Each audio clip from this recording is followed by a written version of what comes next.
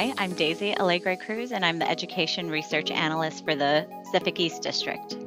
Hi, my name is Angelique Liu, and I'm a web specialist and a member of the communications team in HQ.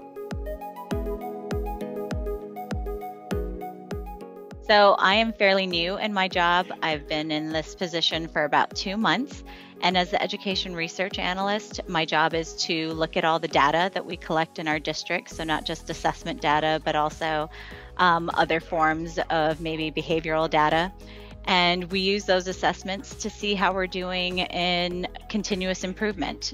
As a web specialist, I am responsible for maintaining website content and supporting region leads as, as well as working with internal clients to ensure that the website information is accurate and up to date.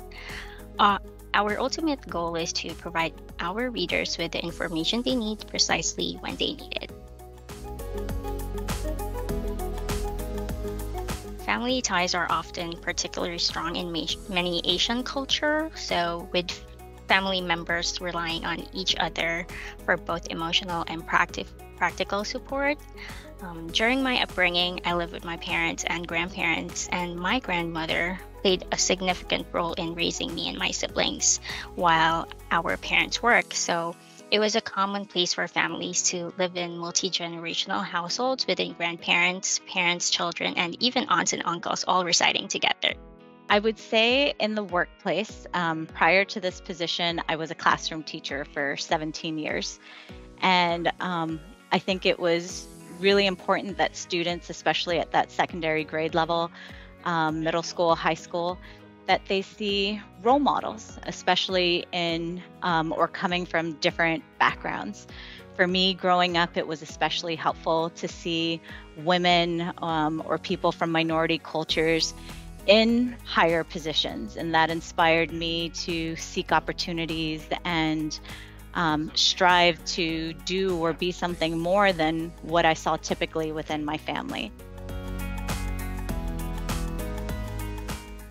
Working for the federal government and just doing anything um, really, uh, and I thought about this too. And, and what worked for me, especially coming from Guam and you know having a very small um, sphere of exposure, I would say find and seek opportunities um, in the federal government. I wish I'd known about some of the things that were available when I was younger, even about some college opportunities that I didn't know were around. And I thought I, I was doing well. You know, I, I did seek out those opportunities, but there were even more that I didn't know about. So find someone to mentor you, seek opportunities, um, and take advantage of those opportunities too. Um, don't feel limited and um, be resourceful. No is not a final answer. My advice will be to just be persistent.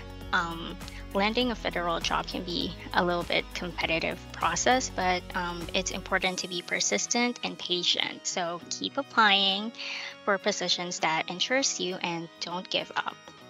Continue to gain experience and build your skills, and eventually you'll find the right job for you, like I did.